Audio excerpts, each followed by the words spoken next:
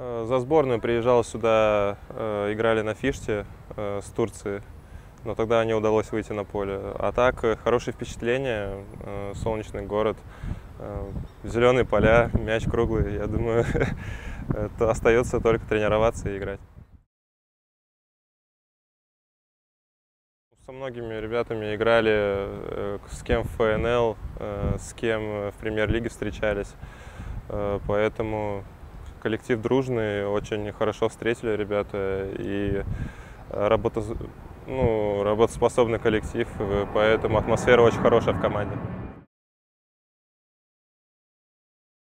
Э, Я думаю, по сравнению, мы с Яном по сравнению с прошлым годом можем только сказать то, что у нас был не настолько опытный состав э, для премьер-лиги и э, мало было ребят, которые когда-либо играли в премьер-лиге. А сейчас э, с командой Сочи много игроков, которые уже не один год провели в премьер-лиге, и поэтому, я думаю, должно э, сейчас э, должно уже все раскрываться и раскрыться именно команда как, как э, по игре, так и по, по психологии.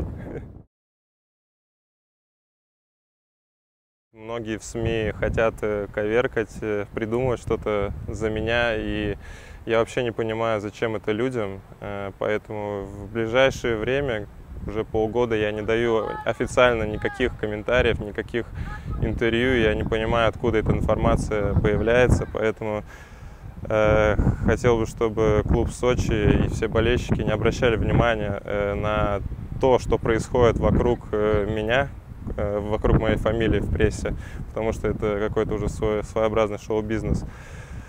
А лучше, лучше бы ребята обратили внимание на что происходит на поле и как, как будет на поле. Всем критикам хочу сказать то, что не надо говорить от моего ничего имени. У вас есть свое мнение,